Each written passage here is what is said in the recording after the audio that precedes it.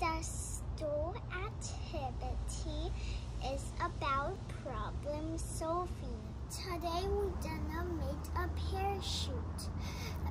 First, you need a plastic bag,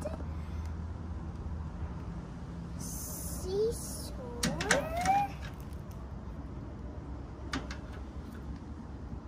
and thread, a toy. Now we gonna tie the thread in the corner of the plastic.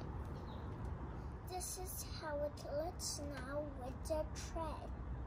We gonna uh, tie my toy. This is now my parachute. That's my parachute.